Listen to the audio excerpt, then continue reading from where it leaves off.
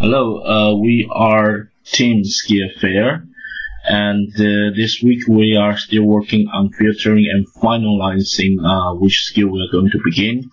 And after field four, we still have three, which are basic level service, lectures, and uh, Microsoft Office, and more design of uh, precise manufacture and uh, the key activities we visit online education company and uh, also do on-site research of a restaurant and we are going to recruit a web designer uh, and uh, to establish partnership with uh, Mo Design Master Professor Cha and we have a questionnaire to survey SME's opinion in this week.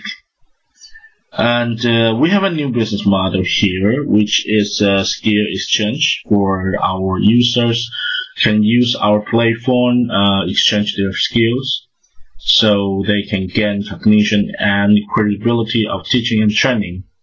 And also, uh, so for the customer segmentation, these are for all users for new business model here and we will have a, a, commission to the provider of courses. But also this one can enrich our database of, uh, of course, of training courses. And uh, this is the photo that we serve at the waiter and waitress in Haidilao.